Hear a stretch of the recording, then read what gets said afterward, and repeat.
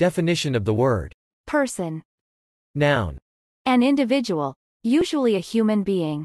From 13th C, a character or part, as in a play, a specific kind or manifestation of individual character, whether in real life, or in literary or dramatic representation, an assumed character. Any one of the three hypostases of the Holy Trinity, the Father, Son, or Holy Spirit. Any sentient or socially intelligent being.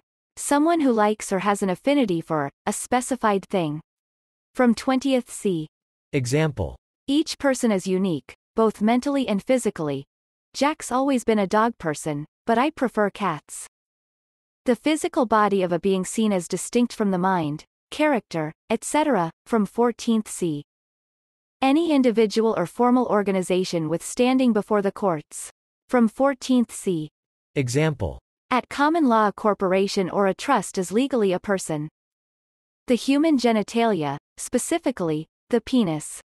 A linguistic category used to distinguish between the speaker of an utterance and those to whom or about whom they are speaking. See grammatical person. From 14th C. A shoot or bud of a plant. A polyp or zooid of the compound hydrozoa, anthozoa, etc. Also, an individual, in the narrowest sense, among the higher animals. Example. Can we find and add a quotation of Haeckel to this entry? Person. Person. Person. Person. person person person, person,